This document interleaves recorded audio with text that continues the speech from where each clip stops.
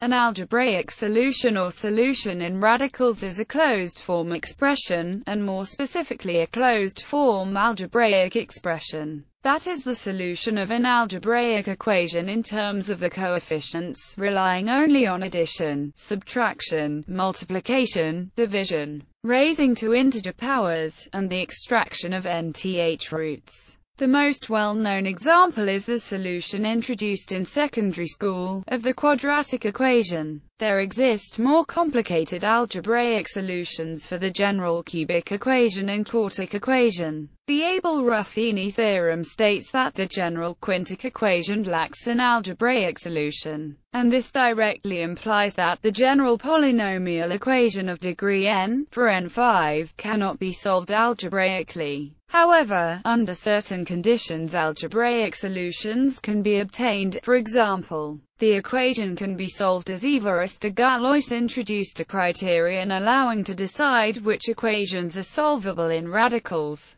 See radical extension for the precise formulation of his result. Algebraic solutions form a subset of closed-form expressions, because the latter permit transcendental functions such as the exponential function, the logarithmic function, and the trigonometric functions and their inverses.